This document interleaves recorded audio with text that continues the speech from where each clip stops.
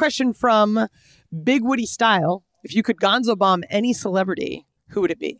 Jim Cornette. Next question. Oh, good answer.